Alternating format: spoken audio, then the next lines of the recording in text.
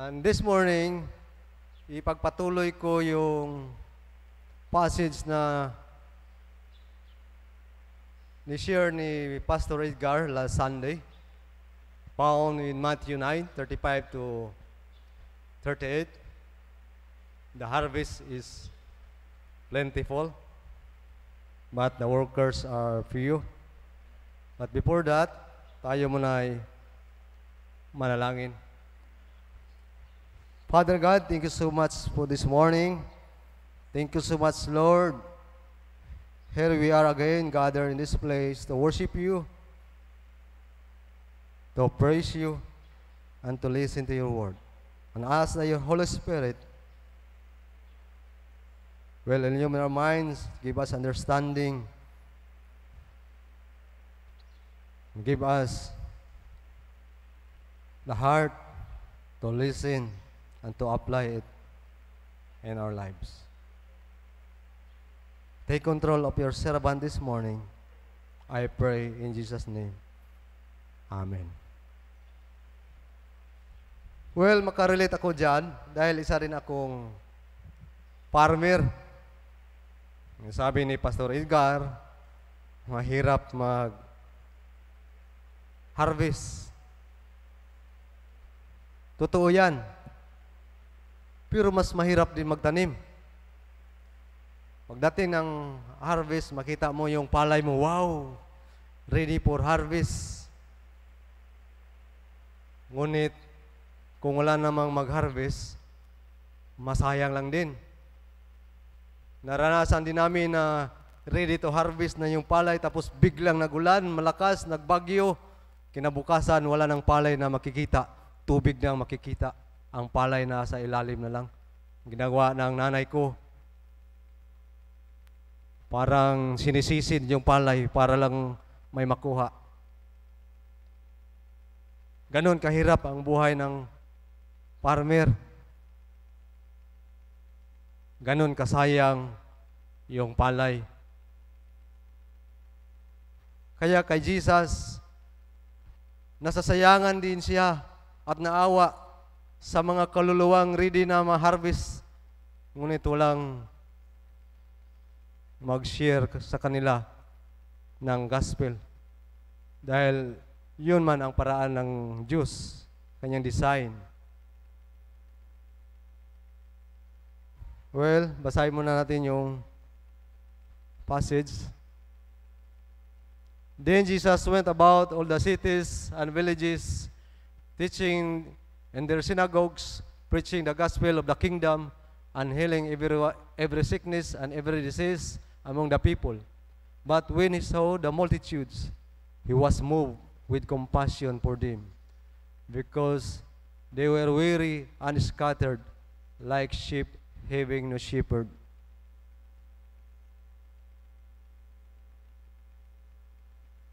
Then he said to his disciples, The harvest truly is plentiful, but the laborers are few.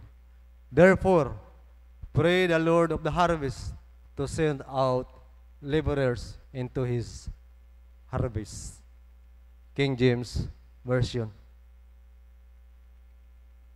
Why did Jesus told his disciples about this? Uh, we knew that before the preceding chapters and the preceding chapters, Jesus was busy in doing the ministry. He healed the sick. Ano-anong mga miracles ang kanyang ginawa together with his disciples. But, ang purpose ni Jesus dito ay Jesus taught and modeled for his disciples to do ministry. And Jesus brought them to a place where there were others who were in real need. Kaya pinakita niya yung totoong pangangailangan ng tao. What was the real need of these people? Sabi ni Jesus, they are like sheep that no shepherd at all. Palaboy-laboy. Pero ang tinutukoy ni Jesus dito ay ang kanilang kaluluwa, kawawa.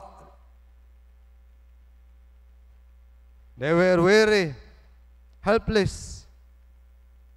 Dahil ang totoong need nila ay ang kanyang ay ang kanilang relasyon sa Diyos. The real need is the relationship with God, salvation of their soul, and forgiveness of sin. Ito yung totoong need ng mga tao. Actually, we have so different needs. Kahit yung wants natin, minsan, di i-consider nating need. But the real need of people is relationship with God. Ang iba ang sabi, pag makapag-aral ako, makapagtapos ako ng pag-aaral, satisfied ako. Pag makatapos ako ng pag-aaral, makahanap ako ng trabaho, happy ako. Maging satisfied na, satisfied na ako kaagad. Pag magkaipon ng pira, magkaasawa, magkaroon na ako ng happy life. Totoo hindi? Hindi. Tanong mo yung mga nag-aasawa, nag-divorce, happy ba sila? Totoo, itanong mo yung mga milyonaryo na nag-attempt, nag-suicide, happy ba sila?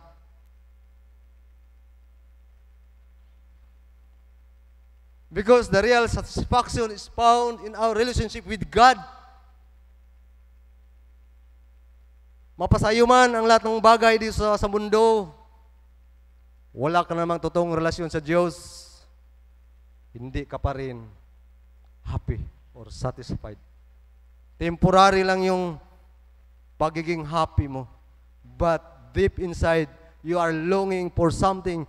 Kaya yung iba, naglulong sa droga, alcohol, dahil akala na doon na makita ang kalang satisfaction. Sa sex o sa vices.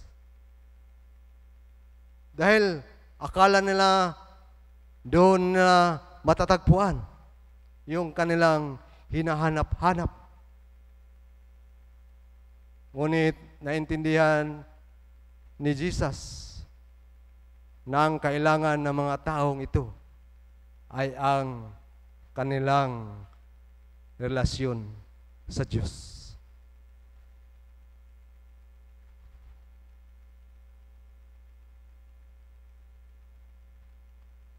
Ang tanong ko, andito ba tayo, natagpuan nyo na ba yung tunay na joy? Or alam nyo ba kung saan matagpuan the true satisfaction in life? The real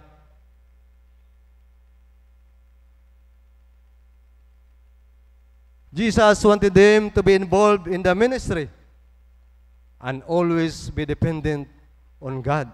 Therefore, He commanded them to pray for the sake of the lost. Kasi gusto ni Jesus ng kanyang mga disipulo ay makaintindi sa kanyang ministry at maunawaan nila at kailangan nilang mag-participate kasi ito yung design ng Diyos para sa mga Christ followers. He commanded them to pray for the sake of the lost kasi maraming kaluluwang walang amo kung saan-saan lang palaboy.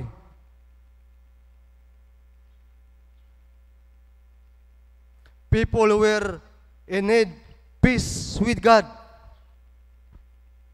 It doesn't mean that they should pray to command God, but they need to pray to depend on God, not on themselves.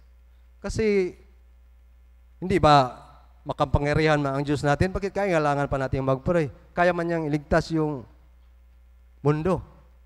uh, without our effort, without our participations, without our involvement. Kaya niya yun. Bakit inutusan pa niya tayong mag-pray? Bakit inutusan niya pa tayo, go and make disciples? Di ba, kaya ng Diyos yun? Kaya nga niya tayo, ginawa nga niya tayo, nagawa nga niya ang mundo. Kaya niyang buhayin ang patay. Kaya niyang patuyuin yung paralyzed. Hindi ba niya kaya iligtas ang buong mundo without our participation? Kaya. But Jesus wants us to be involved in the ministry because this is God's design. This is God's plan. Ito yung plano ng Diyos, strategy ng Diyos. Kasali tayo doon.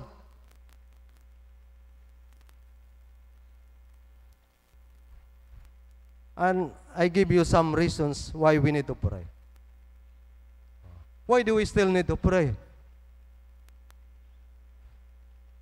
Because it is God's will and command. Oh, klaro man yan. Ah, pray without ceasing. Ang daming verses in the Bible that we can read and find that God commanded us to pray.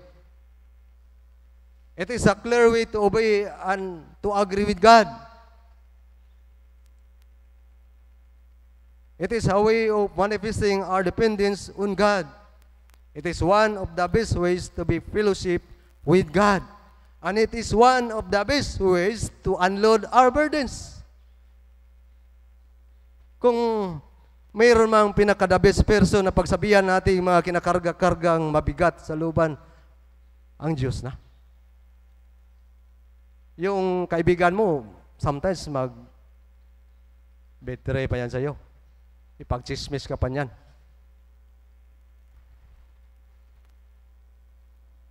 Si Peter nga, tatlong beses niya ay pinagkalo si Jesus. Sabi niya, hindi talaga ako tatalikod sa iyo, Lord. Ah, maraming friends natin na ganun. Ah, hindi, tilak, hindi talaga kita pababayaan. Pero ang dami rin nagsabi na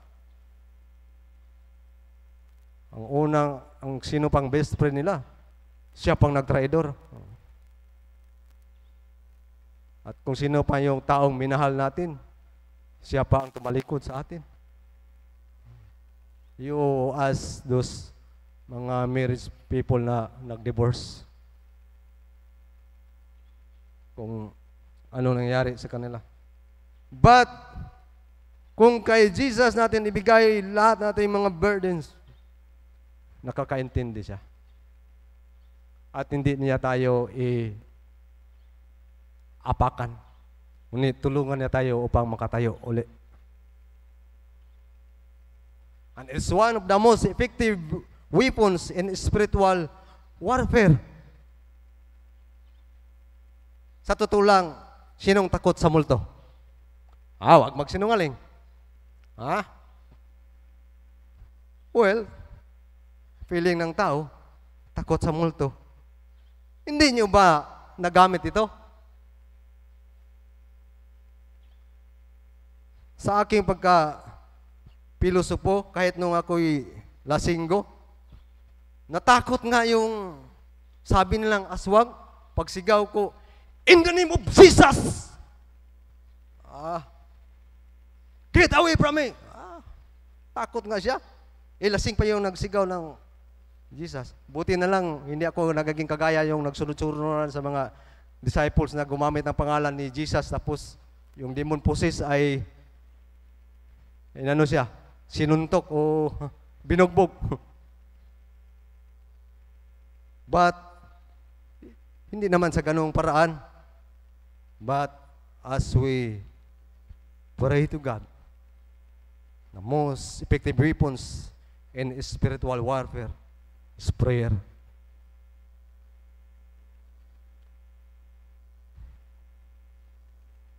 Tingnan mo lang yung sundalo. Yung sundalo na hindi marunong o makapaputok ng kanyang baril sa gira ay para lang din isang Kristiyano na hindi marunong mag-pray.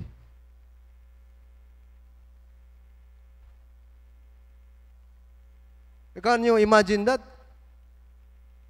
Kung ikaw ay sundalo, tapos pagdating doon sa aktual na gira, hindi mo mapaputok yung baril mo, hindi mo magamit. Katulad niya ng isang Kristiyano na hindi marunong mag-pray, hindi marunong gumamit ng kanyang weapon. Pero mayroon namang isang sundalo, nakita nyo yung movie, yung isang medic, na walang dalang baril. Dahil ayaw niyang pumatay. Kasi ang sabi niya, ang calling ko sa Diyos, God called me to save people, not to kill. Oh, yun ang kanyang prinsipyo at sigurado sa, sa kanyang calling, sumama siya doon sa mga sundalo, hindi upang makipagira, kundi hintayin kung sino yung matatamaan ay kanyang gamutin. Kahit pa ay kaaway nila. Ah, yun kanya ang calling. In the same way, we are prayed to save people from eternal death.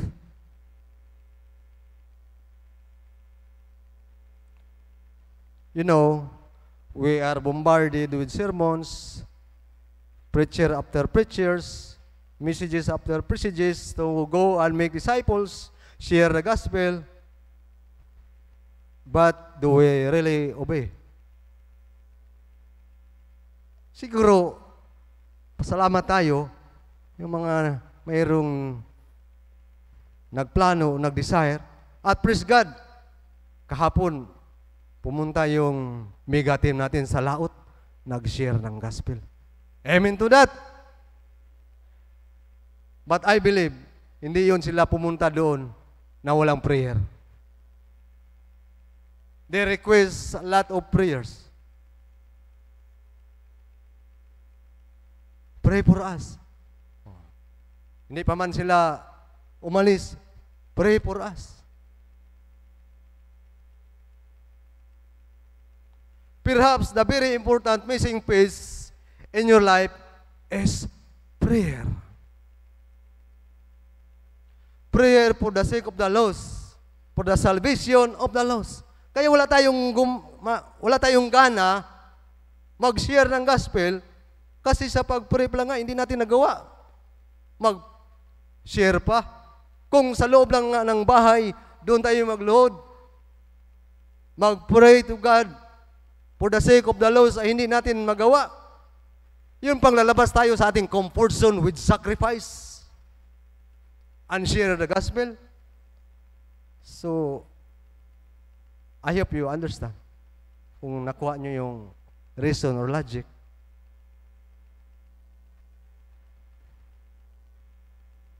If we cannot pray inside our house, how much more if we go out from our comfort zone and go and make disciples?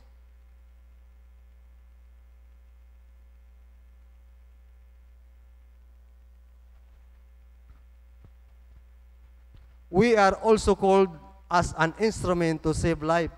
And we must start in obedience to God by praying. Well, nag-pray tayo during prayer meeting, uh, missions month emphasis. Pero sa totoo lang, guilty rin ako dito. Napak napaka-boring. Ang prayer minsan. Iko yung sinasadya nga, sadyain natin mag-pray, nabuburing pa tayo. Ano lang kaya kung walang mag-challenge sa atin mag-pray?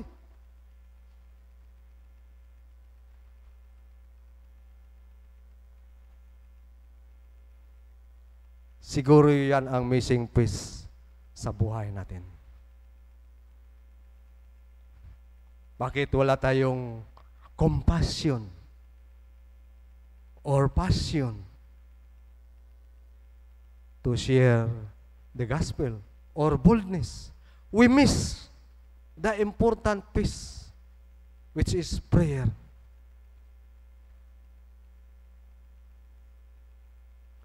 You want to obey God, isn't it? Ay, simpre naman. Sino bang tao dito na hindi amin na gusto niya mag-obey sa Diyos? Kaya nga tayo dito. Amin ba? Yeah. You desire to become a blessing, isn't it? Ah, amen ka talaga. Tayo. You are here to worship God because you love Him. Amen. Amen. You are here to obey His command. Is that true? Bakit walang amen?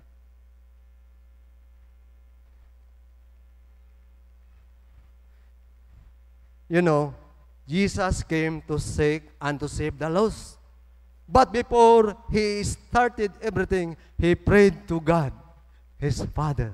He prayed and fasted.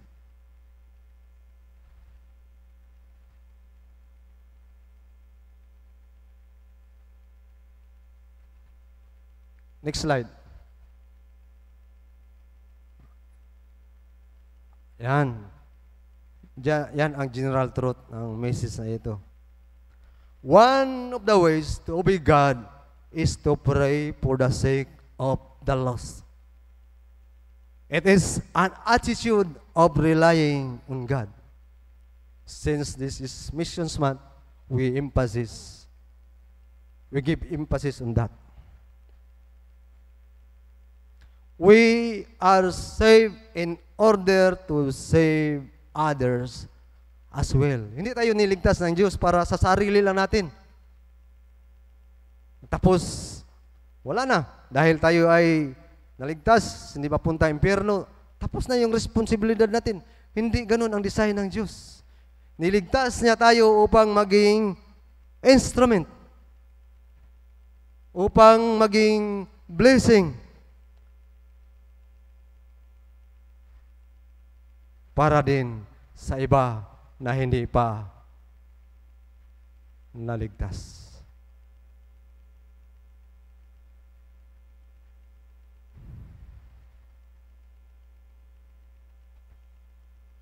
If we know how to love, we should learn to pray. Marunong man tayo magmahal, di ba? Marunong tayo magmahal dapat matuto din tayong mag-pray.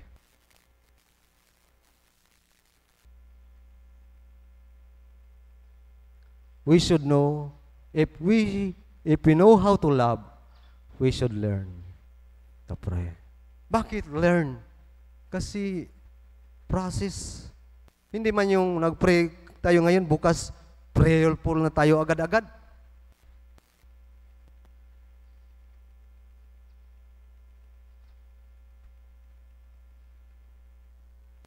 Kaya learn.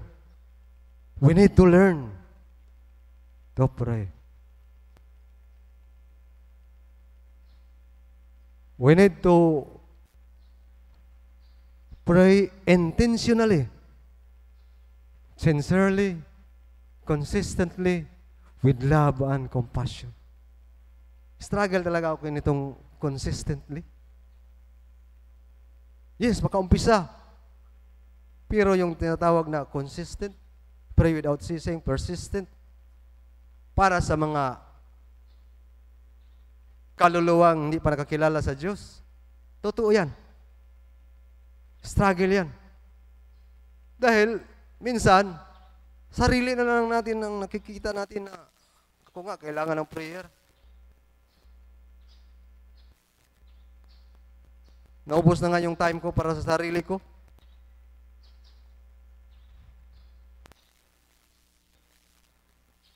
Ito yung mga possible hindrances. Bakit hindi natin magawa yan? Prejudice. Hatred. Isang example dyan sa prejudice, si Jonah. Galit siya. May reason naman yung kanyang prejudice. Dahil barbaric naman yung nasa mga tao sa Nineveh. They were victims. Impatient, Unwilling to sacrifice, self-centeredness, busy, passive, doubtful, judgmental. Ah, wala na yan. Hindi na yan magbago. Kahit luluha ka pa ng dugo, hindi na yan magbago. Wala na yung pag-asa. Loss of or give up hope. Hindi ka naman inutusan ni, ng Diyos mag-pray upang baguhin mo yung tao. Inutusan ka ng Diyos upang mag-obey sa Kanya. Siya na yung bahala doon. Kung magbago yan o hindi. Pero nagawa mo ang pinagawa ng Diyos sa iyo.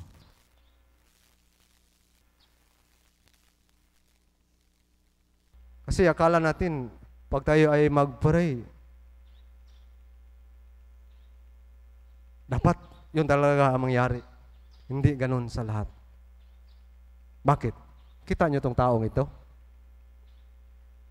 Kilala nyo yan?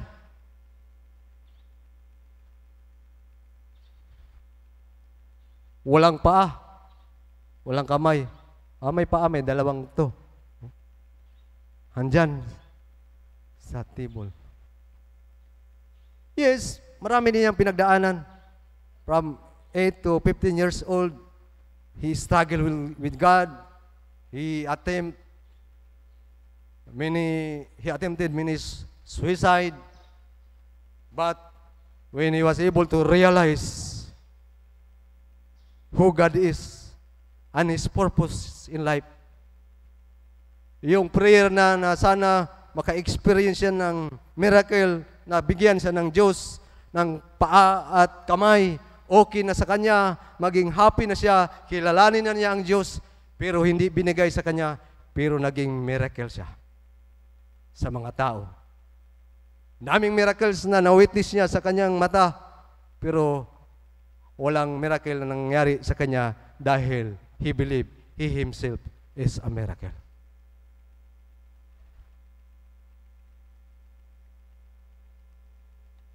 Nawalan ba kayo ng pag-asa? Okay lang yan para sa Diyos. But hindi hanggang dyan lang. He inspired many people, millions, He go around the world and share Jesus. Mayroon pang konstitusyon na nabago dahil nasira niya yung president.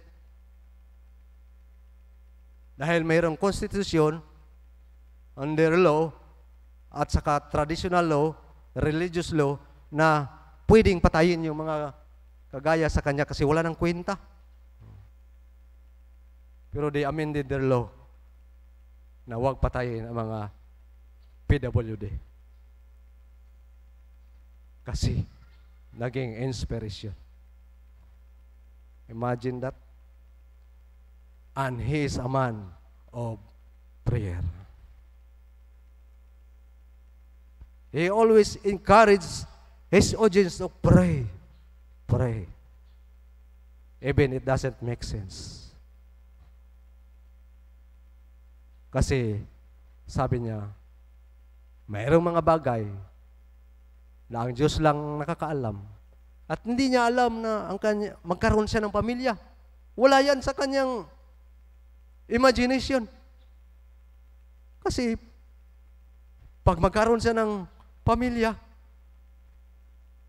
paano niya hawakan ng kanyang anak kung magkaanak siya? Meron siyang apat na anak ngayon. May dalawang twins. Tuwing umiiyak ang kanyang anak, hindi siya ang lumapit upang ihag. Ang kanyang anak ang lumalapit sa kanya at maghag sa kanya.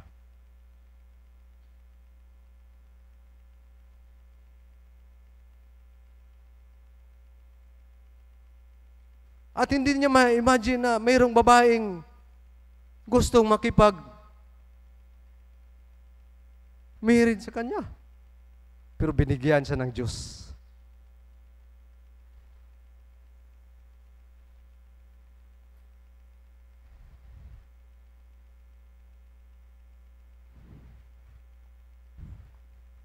Brethren, gusto kong iparating that we need to pray.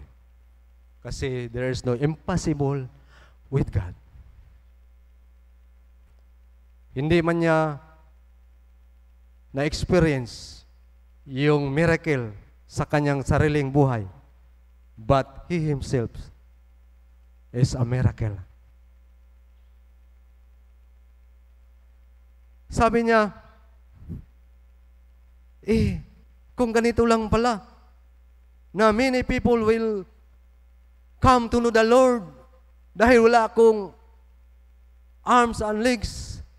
Adi, happy ako. Kisa magkaroon ako ng kompleto tapos wala naman akong madalang o masira na kaluluwa. Ano ang purpose ng buhay ko sa mundo?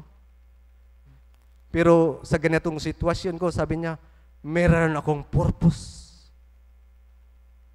The challenge is, kung ang tao yang hindi kompleto ay mayroong hope, may courage to share the gospel, how much more tayo na mga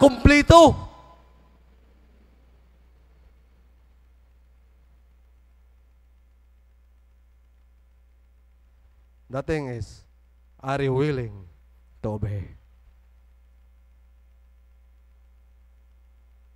Ngayon, in application,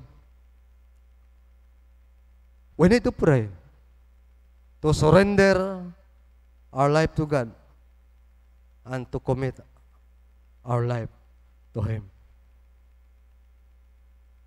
Kaya, unang gawin natin, eh pag-pray natin, alamin natin saan tayo nagkukulang, ask forgiveness before God,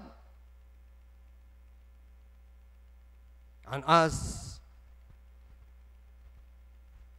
the strength to pray, to commit in prayer, the first step in participation in involving Christ's commission. And then the second part, isipin nyo, sino yung ipag-pray nyo na lost. It can be your friends, families, office mates, relatives, or even your enemies. So let us bow down our head as we pray for that. And may I request the song leader the, for the response songs team as we do this. Let be serious. Be sincere. Alam ng Diyos kung nagsisinguling tayo, nagpakakunwari. Beware of promotives.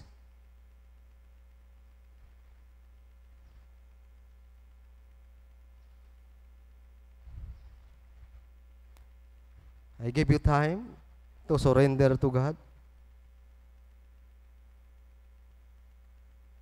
And then, pray in your mind, someone that needs salvation. That God will send preacher, workers to share the gospel to them. Or be ready to become the answer of your prayers.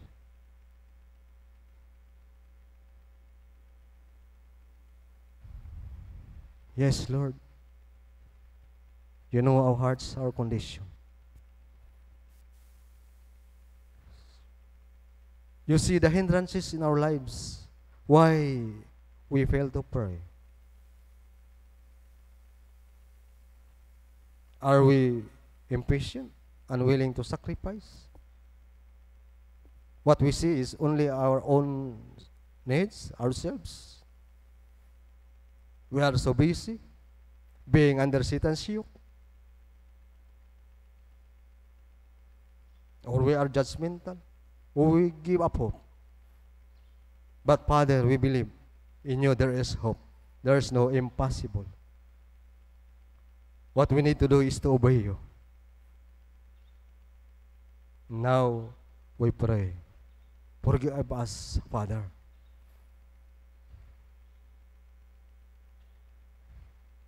We pray for the lost people, maybe our loved ones, our relatives, our friends, our colleagues, or our enemies.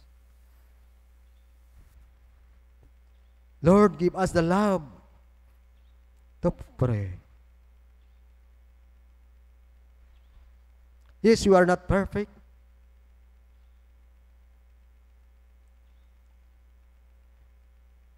But you understand that.